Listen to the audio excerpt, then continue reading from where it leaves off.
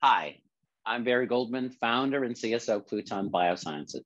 At Pluton, we combine biochemistry, genomics, and data science to unearth microbial solutions with world changing potential.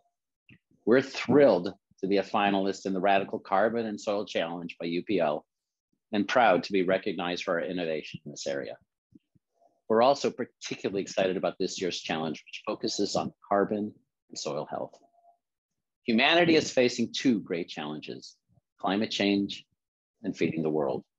But the problem of solving climate change negatively impacts feeding the world, and feeding the world exacerbates climate change.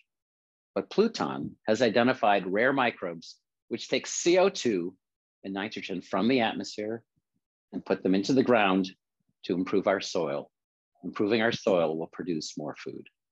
We're looking forward to presenting our story at the finals of the UPL and Radicle Growth Challenge. We'll see you on Pitch Day, March 21st in San Francisco.